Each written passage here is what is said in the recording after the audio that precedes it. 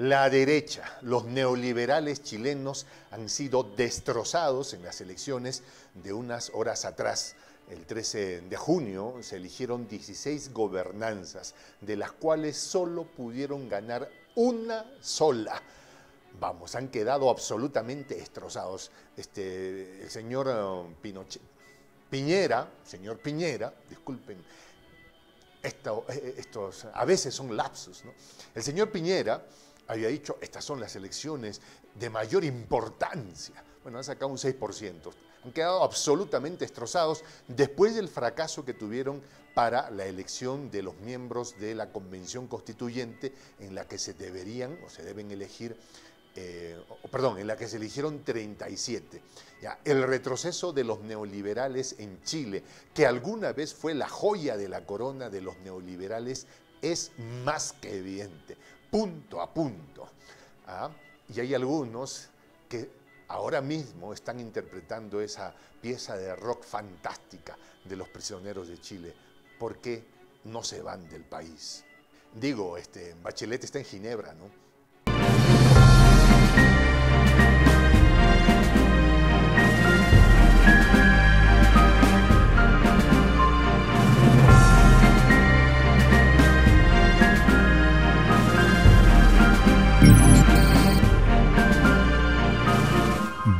De la Patria Grande.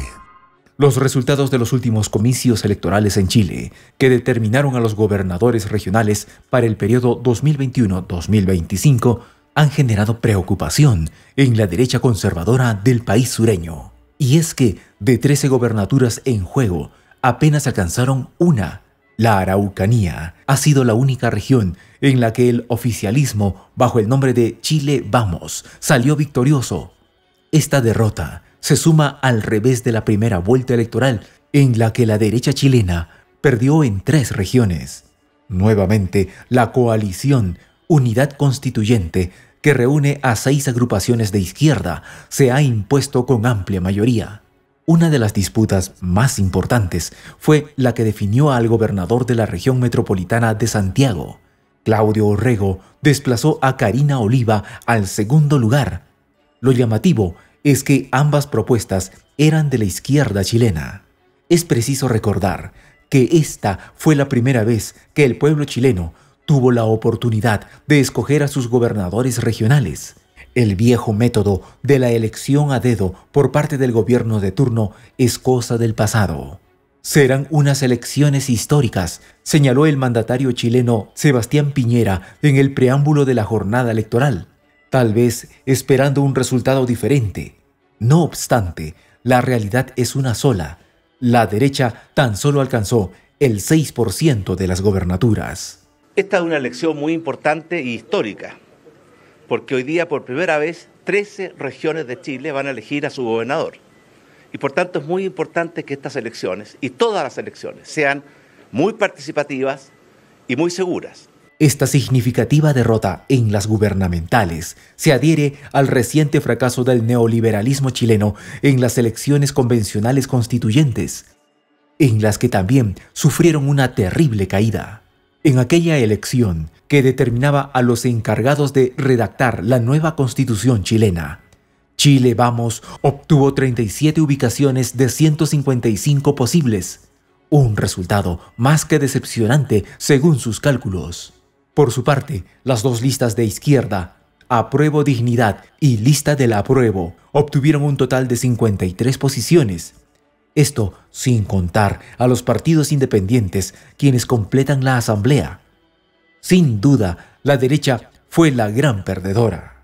Estas dos derrotas consecutivas dejan tambaleando a Chile Vamos, coalición que tiene como personaje más representativo al mandatario Sebastián Piñera.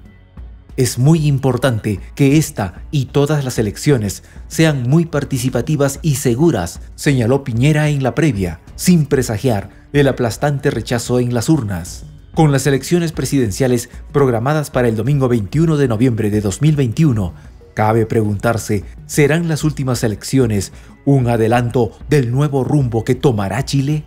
Para desgracia de los neoliberales chilenos, el asunto pinta cada vez más complicado porque incluso las encuestadoras tan afines a los intereses neoliberales han tenido que reconocer que el alcalde de la Recoleta, el señor Daniel Yadue, espero pronunciarlo bien, sí, un hombre que viene del Partido Comunista, tiene el 20% de la aceptación. Esto dicen las encuestadoras. ¿Ustedes se imaginan cuál será el verdadero escenario?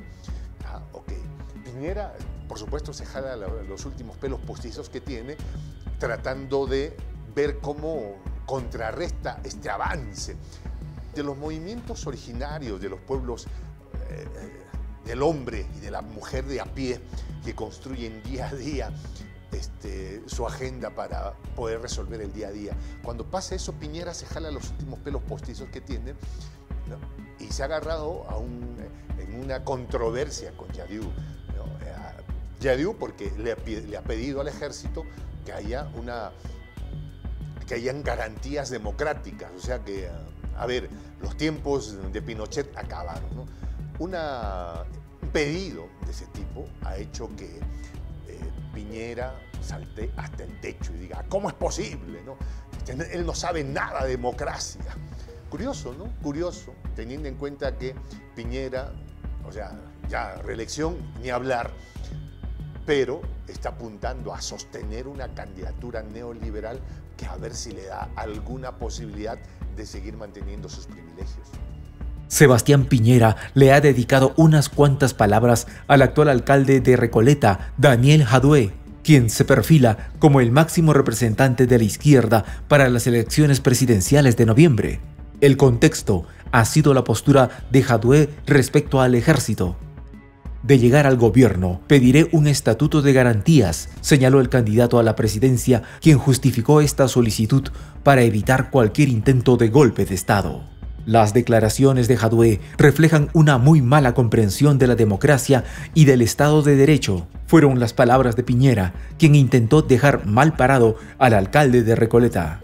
Todos los sectores que apoyan a Jadue no ayudan en nada a fortalecer nuestra democracia, agregó el mandatario chileno. La democracia en Chile nos pertenece a todos, por eso tenemos que cuidarla, resaltó al finalizar su discurso. Este mensaje sorprendió enormemente a Daniel Jadue, quien le recordó al mandatario de Chile su situación actual, quien está siendo acusado en una comisión internacional por no respetar la democracia, es usted. Este cruce de palabras entre Jadue y Piñera han calentado los ánimos de cara a las elecciones presidenciales de noviembre, proceso que probablemente tendrá al actual alcalde de Recoleta como uno de los más grandes aspirantes a lograr el puesto de jefe de Estado. Soy el J, Juan José del Castillo, director del canal Prensa Alternativa. Si quieres ser parte de la comunidad de la Patria Grande, suscríbete a nuestro canal. Si es que quieres que te lleguen las notificaciones cada vez que subimos un video, activa la campanita. Si quieres apoyar a nuestro canal económicamente, puedes hacerlo a través de PayPal. El enlace está en la descripción del video. A nombre del equipo de prensa alternativa, me despido con esta expresión en el quechua milenario. Tupananchis Kama, cuya traducción es hasta volvernos encontrar.